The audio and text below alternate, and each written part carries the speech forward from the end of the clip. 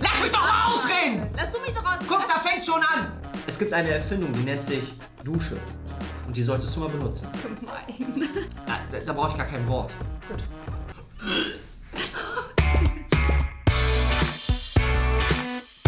Hey Leute, was geht? Herzlich willkommen zu einem Kanal. Ja, genau dieses Geräusch meinte ich letztens bei Spiel mit dem Epson Games. Ähm, und zwar finden wir heute endlich mal heraus, wer von uns beiden fieser ist. Hä? Was, hä? Als, warte mal, stopp, als ob ich da mit dir konkurrieren muss. Du Ja. denkst doch nicht wirklich, dass du. Ich weiß ja nicht, es kann ja sein, dass ich situativ vielleicht fieser sein könnte, es aber einfach nicht bin. Nein, könntest du auch nicht. Also, hier sind Sogar wenn du. 14, Nein. äh. ich glaube 14 oder 15, ich bin mir nicht mehr ganz sicher. Situationen oder Personen drauf, zu denen man Dinge sagen könnte, wenn man denn fies wäre. So, und wir ziehen hier jeder und dann haben wir 10 Sekunden Zeit. Also, das ist jetzt. überlegen. Das ist alles Fiktion jetzt. Ja, ja, das ist Fiktion. Das heißt, es sind auch Personen vielleicht dabei, die wir kennen. Nee, das nicht. Ach so, gut, okay. Gut, Nee, gut, gut. Ähm, und dann müssen wir, haben wir quasi 10 Sekunden Zeit und dann müssen wir was sagen zu dir. Okay, und ihr könnt wahrscheinlich entscheiden, wer äh, heute insgesamt vielleicht Genau, oder pro Kommentar mal- fieser ist. Lass mich doch mal ausreden! Lass du mich doch ausreden. Guck, da fängt schon an! So, so soll ich als erstes ziehen? Ja, ich würde auch sagen, der, der zuerst zieht, muss dann zuerst seine Antwort präsentieren. Okay, habe ich 10 Sekunden etwa Ja, Zeit? genau. Okay, äh, zähl du von 10 dann Ja. gleich runter, ich zähle Ja. bei dir von 10 Ja. runter. Und dann hat der andere immer ein bisschen mehr Zeit. Zur Braut oder zum Bräutigam am Hochzeitstag? 10, 9, 1. Zum Bräutigam würde ich folgendes sagen. Wie? Jetzt hast du sie doch geheiratet? okay. Beziehungsweise wie? Du hast dich für sie entschieden? Ja, ja, ja finde ich gut. Finde ich ist, schon, das ist schon sehr unpassend auf einer Hochzeit, glaube ich, sowas zu sagen, Okay. oder? Ja, ist- Gut. 10, 9, go. Das ziehst du an? Aber zu wem? Zu wem? Braut. Ja, auch nicht schlecht, auch nicht schlecht. Das willst du anziehen? Doch, finde ich gut. Ja, doch, passt eigentlich auch ganz gut. Stell mal vor, das sagt dir jemand, ne? Ausgeladen. Ja, aber wie muss sich die Braut fühlen, wenn ich dem Bräutigam sage, wie? Hast du jetzt doch für sie entschieden? Jetzt doch die? Okay, ich ziehe als nächstes. Ja. Wenn sich jemand ein neues Auto gekauft hat. 10, 0. Ich wusste gar nicht, dass du auf Oldtimer stehst. Ja, okay, aber das ist jetzt. Könnte, Na ah, Ich fand's gut. Okay, du bist dran. 10, 1. Okay. Ach, sieh mal an. Das Auto, das Auto war mein erstes Auto, als ich das Autofahren gelernt habe. Das war gut. Stell dir vor, du kommst so voll happy mit einem neuen Ja, Auto, stellst das vor und sagst, ja, das war mein erstes Auto, als ich noch äh, sozusagen das Fahren gelernt Oder habe. stell dir vor, du sagst so, ach ja, die Delle habe ich da reingefahren noch. Ja gut, ist ja ein neues Auto, könnte ja neu Ja, warten. aber Guck, du verstehst dieses Fiessein gar nicht. Du musst, du musst dich sozusagen wirklich mental in diese Person hineinversetzen, die gerade fies ist. Und du kriegst das nicht hin, Danja. Ja, Du kriegst es einfach nicht hin. So, wir haben schon zwei fiese Sachen und äh, ihr könnt gerne schon in die Kommentare schreiben. Wer, wer, wer der Fiesling hier Es ist. wäre eigentlich besser, sozusagen, wenn das was über uns wäre. Boah, das wäre richtig fies. Ja, das So, können ich wir könnte ja was über deine neue Frisur sagen. Das können wir und sagen, dass das wahrscheinlich nur aus Frust geschehen ist, weil ihr ziemlich langweilig zu Hause Das war. kann gut sein. Ich bin sehr zufrieden damit. Okay. Was passiert? Was passiert? Das passt. Das, das passt. Also, sorry, ich hab's gerade gar nicht. Wenn jemand beim Friseur war. So, ja. Ich brauche gar keine 10 Sekunden. Okay. Ich kann dir sagen. Dir ist auch ein bisschen langweilig, oder? Hast du es selber geschnitten? Ja, ist auch gut. Ist auch gut. Ist auch gut. Ja, hätte ich jetzt auch nicht gedacht. Das wäre auch fies. Zu LehrerInnen, wenn man geschwänzt hat. Ach, zu Lehrer oder einer Lehrerin. Mein Urlaub war total okay. Das ist ja nicht fies. Das ist ja, Ja, kom komplett aber- neutral. Nein, Ich zeig dir, was fies ist. Okay, jetzt. Brauchst du 10 Sekunden? Nein, ich brauche keine 10 Okay, du Sekunden. hau raus. Sorry, aber ich glaube ihnen einfach nicht, dass sie Lehrer sind. Deswegen bin ich nicht gekommen. Ja, gut, aber der finde ich gar nicht so situativ lustig. Doch, natürlich, das kannst du in jeder Situation anwenden. Na gut, Ich habe dein Lehrer fragt, wo warst du? Und dann sag ich, sorry, ich glaube einfach nicht, dass du Lehrer bist oder Lehrerin bist. Weshalb bist du nicht zum Unterricht erschienen? Ja. Okay, den fand ich gar nicht so lustig. Aber meiner war auch nicht so lustig. Nee, auf dem Abschlussball. Okay, 10. Folgende Situation. Hm. Ich bin äh, äh, Redner an der, äh, beim Abschlussball Mhm. Ja. und ich sage folgendes. Ich hasse euch alle. Tschüss. Völlig unerwartet. Bei einem Abschlussball alle haben gute Stimmung Ja. und ich bin dann da und mache alles kaputt. Ja, das kann ich mir gut Ich vorstellen. hasse, ich hasse euch einfach alle. Ich hasse euch alle. Okay, Danja, Ja. was wäre dein fieser Spruch auf einem Ja, Abschlussball? zähl runter. Ich, ich Zehn. will meine 10 Sekunden. Wer seid ihr eigentlich? Hä, was? Das ist doch nicht viel. gar nicht auf der Schule warst. Oh, Danja, ehrlich, du kannst doch so viel von mir lernen. Ehrlich, du kannst so viel von mir. Das ist doch immer noch freundlich. Hä, echt? Okay, nächste. Zu Sitznachbarinnen am ersten Schultag. Der, der letztes Jahr hier war, ist verstorben. Uh, ja, das ist fies. Das ist fies. Das ist fies, aber hat ja eigentlich nichts mit. Aber warum? Na, ist so, das- so ein bisschen gefährlich so. Das Ach so! So ein bisschen- Nein, dann darfst du nicht sagen verstorben, sondern auf mysteriöse auf Weise. mysteriöse Weise. Ja, das ist schon fies, das ist schon echt creepy, muss ich sagen. Ähm, also ich würde etwas komplett. Also völlig erwartet. Du kannst ruhig runterzählen. Okay, 10. Es gibt eine Erfindung, die nennt sich Dusche. Und die solltest du mal benutzen. Gemein. Das ist gemein, das ist Das ist fies. gemein. Ich sage ja dir, diese Person hat dann ein Leben lang ein Trauma. Ja, ich weiß, weil da macht man ständig den hier. Nee, den macht man nicht, sondern man geht dann so die ganze Zeit durch die Gegend. Wieso? Hey, ja, wenn man Angst hat, dass man stinkt. Ja, stinken tut man dann ja trotzdem. Ich laufe ja nicht so rum. Hallo! Hallo! Doch, manchmal war Okay. es schon. Zum Leidwesen von uns allen hier. Äh, Ach so, als Lehrer zu kleinen Geschwisterkindern. Also die, die dann quasi... Ja, okay, das ist ja eigentlich vorprogrammiert, was da dann kommen muss, ne? Ja, also das Wissen hat wahrscheinlich jemand anderes in deiner Familie bekommen, nicht du. Ja, das ist gemein. Oder das Gehirn. Das ist schon gemein. Okay, 10. Okay. Äh, noch so eine? Ja, okay, okay, okay. Okay, ja, kann ich auch verstehen. Ist äh, auch nicht so schlecht. Ja. Doch. Wenn ist die Lehrer gut. den vorherigen nicht leiden können, Ja, stimmt. Stimmt. Oder vielleicht sowas, ich dachte, es gibt nur einen von euch. Ja.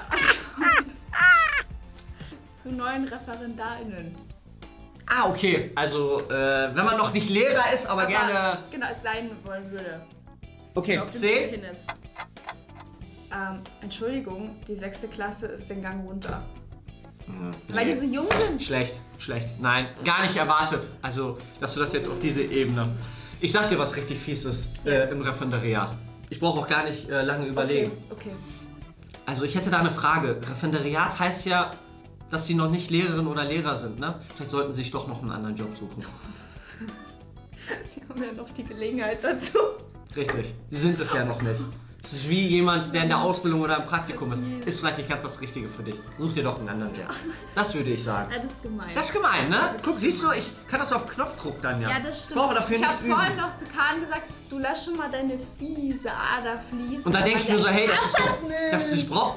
Erstens, ich rede, ich rede nicht so. Doch. Ne? Das war jetzt ein bisschen verletzend, Oh. was du gemacht hast. Das ist so verletzend, du- das ist so verletzend, wie wenn ich äh, morgens hinkomme und dich mit dieser Frisur sehen muss. Du- Sehr verletzend. Möchtest du weinen gehen?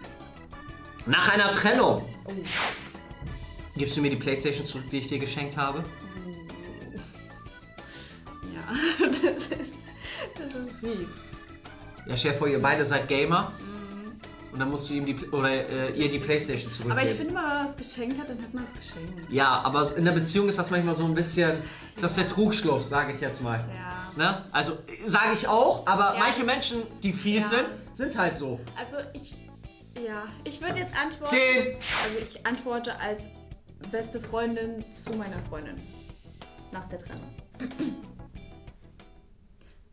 War aber schon ein guter Fang, ne? Das ist gemein. Mm, Ja, okay, ja, ist gemein, ja. Okay, kommt drauf an, wer dran schuld ist, ne? Gut. Ob jetzt Trotzdem ist beide- voll gemein. In jeder Situation ist es gemein. Wenn er Schluss gemacht hat, ist gemein. mit sich. Nein, weißt du, was viel fieser wäre? Hättest du gesagt, ach, hat er eigentlich eine neue Nummer oder warum erreiche ich ihn nicht mehr? Oder Er umgekehrt hat so. schon eine neue Freundin. Ach, was für ein Zufall, ich treffe mich morgen mit ihm. Ich hab mir vorhin geschrieben. Okay, ich ziehe, ne? Ja. Nee, du ziehst, sorry, du musst ziehen. Ach ja, zu neuen ArbeitskollegInnen am ersten Arbeitstag. Ich weiß, was ich zu einer Arbeitskollegin direkt sagen würde. Äh, aber du bist als erstes. Ja, zähl runter. Der, der vor dir hier war, hat nicht so lange durchgehalten. Ja, das ist schon wieder sowas wie aus der Schule. Danke, das ist so. Haben- Soll ich jetzt Angst haben vor dir? Ja, klar. Willst du? Hast du schon? Oder brauchst Äh, du 10 Sekunden? Nein, ich hab schon. Okay, leg los. Ah, jetzt schickt uns das Arbeitsamt schon wieder irgendeine Praktikantin. Das ist richtig gemein, ne? Gemein. Es fängt schon an mit dem Arbeitsamt so. Ne? Ist eine Maßnahme. Kennen wir alle. Also, kenne ich zumindest. Aber das ist was anderes. Wenn dir jemand den selbstgeschriebenen Song vorspielt, okay, Okay, da gibt es, glaube ich, viele Sachen. an deiner Stelle würde ich folgenden Titel für deinen Song wählen: The Mute Song. Es geht. Es geht. Nein, das geht nicht. Ich nicht. Was ist Mute?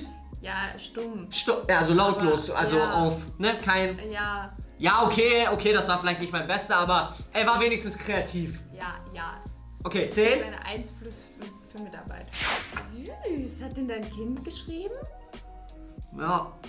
Ja, okay, aber das ist ja nicht fies, ne, sondern du findest ihn ja immer noch süß. Ja, trotzdem. Ja, ist auch okay. Gibt für Mitarbeit eine 2 minus. Danke, danke. Oh, nach einer Operation. Aber wer ist man dann? Der Arzt oder Ärztin oder? Kannst du dir aussuchen. Steht nur nach einer Operation. Äh, ich dachte, dachte, das ist eine Blinddarm-OP. Wo ist denn dein Bein hin? Ja, das, das ist fies, aber gut, das ist ja nicht fies gegenüber der Person, sondern. Schon viel. Ja, nein, das schon, aber das ist ja so eigentlich so. Also, das ist so erschreckend, das ist ja extrem. Ja. Tanja, also, sorry, gut, dass du keine Ärztin geworden bist. Nee, meine Situation ist jetzt gar nicht so äh, dramatisch. Ähm, ich würde das aus folgender Perspektive: Ich bin plastischer Chirurg, Ja. Ähm, habe gerade eine Nasen-OP bei jemand gemacht und sage dann folgendes zur Person: Na gut, dann bleibt ja nur Rest des Gesichts noch über, ne? Das ist echt fies. Ja? Das ist fies, ne? Das ist wirklich. Okay, vorletzte fiese Situation in unserem Leben. Beim Essen. Okay, Ja, da, da brauche ich gar kein Wort. gut. So, Ja. Das reicht schon. Ja, das, das macht Kahn häufig. Warte mal. Ich glaube, ich glaube, das hatte ich letzte Woche schon mal warm gemacht. Sag mal, muss man für deine fiesen Sprüche studiert haben oder so? Äh, warum? Was ist daran jetzt fies? Weil- das ist vollkommen kontextlos und Nein, gar nicht situativ. Man, das man, man isst und dann sagt jemand, das ist schon vor zwei Wochen oder so. Nicht? Finde ich nicht fies. Also, Ich das das- ist einfach so zu speziell. Okay. Das ist doch nicht, du, du musst ein Essen sehen und da musst du fies sein. Ich kann nicht gut fies sein. Da würde jetzt passen sowas. Oh, hat das dein Kind gemacht oder du? Ist das aus der Windel des Kindes oder? zu jemandem mit Flugangst im Flugzeug.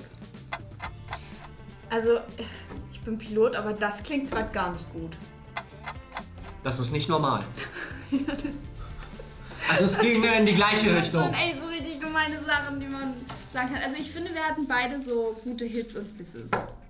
Du nicht. Du hattest vielleicht zwei, drei Situationen, wo ich sagen war würde, schon, passt. Doch, ich war schon. Nein, Danja, es tut mir leid, aber du bist einfach zu ja, nett aber für diese Welt. auch Sachen, die einfach nicht Danja, hör mir zu. Hör mir doch einfach zu. Du bist, das guck mal, auch wenn es eine Challenge ist, ne?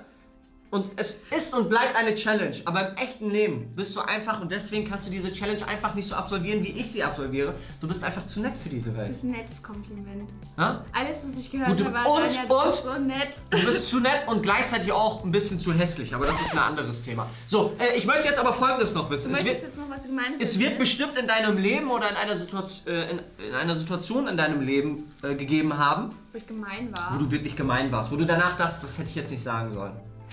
Äh, wirklich nicht? Dann erzähle ich, äh, eine Si- dann erzähl ich Situation. Ich, ich bin halt mega höflich. Halt. Ja, aber trotzdem, äh, es geht ja gar nicht darum, dass du halt, aber du wirst auch eine beste Freundin oder einen besten Freund haben, wo du einfach vielleicht in der Situation mal fies warst und du wirst doch nicht an Höflichkeit denken, wenn ihr um 12 Uhr nachts Super Smash Bros. spielt oder irgendwie sowas und dann denken, ja, jetzt bin ich nicht fies. Ja, aber dann beleidige ich halt eher. Ja, aber das ist ja auch fies. Ich muss ja jetzt nicht den genauen Wortlaut, Wortlaut dieser Beleidigung haben, aber... Aber das mache ich ja bei dir auch. Ja gut, okay, das können wir jetzt nicht laut sagen. Ja, äh, ich kann ja, äh, gut, ich sage immer wieder, Danja ist äh, zu nett äh, für diese Welt. Äh, tatsächlich habe ich sehr, sehr viele Situationen in meinem Leben erlebt, ähm, wo ich sehr, sehr fies war beim Fußball. Also beim Fußball, klar ist das immer eine andere Geschichte, da gibt es auch Trash-Talk und Ja. so. Aber mit fies meine ich gar nicht gegenüber den Gegnern, das ist normal. Hm. Ne, das ist normal. Aber auch mal äh, zwischendurch meinen eigenen Mitspielern gegenüber. Äh, besonders in der Jugend, ne, so später, wo ich dann bei den Senioren war, nicht mehr so. Ja, also eine, eine ganz normale Situation war, dass halt im Spiel ähm, jemand eingewechselt wurde. Und wenn jemand eingewechselt wird, dann ist das so oder so extrem schwierig. Aber ich kann mich daran erinnern, dass ich hier und da auch schon mal Einwechselspielern, also wenn, wenn der da reinkam und einen Fehler gemacht hat, über den äh, Platz dann geschrien habe, äh, warum hast du den eingewechselt? Und das ist schon sehr, sehr fies. Also, da, da, das ist nicht oft passiert, zwischendurch schon, aber da muss ich zugeben, da war ich schon echt fies. War ich auch ein bisschen anders vielleicht drauf, aber sowas äh, wü- würde ich äh, niemals unterstützen, wenn das jemand bei mir machen würde. Also auch, wenn ich sozusagen Trainer wäre und Ja. das würde einer meiner äh, Spieler oder Würdest du dann Spielerin eine machen. gelbe Karte geben? Nein, nein, nein, komm, tschüss. So, wie soll man als Trainer eine gelbe Karte geben? Aber gut, dann merkt man, dass du einfach nicht sportlich bist. Genau wie bei meinen Fußballvideos am Wochenende bei. TikTok. Für Informiert, für äh, Uninformierte, wo ist jetzt der Unterschied? Ich weiß immer noch nicht, wo der- So, Ja, tschüss. aber du hast mir trotzdem nicht gesagt, wo der Unterschied war. Hallo, sagst du mir noch, wo der Unterschied war? Ich würde gerne wissen, wo der Unterschied lag. Ey! Das habt ihr gerade nicht gesagt. Ciao.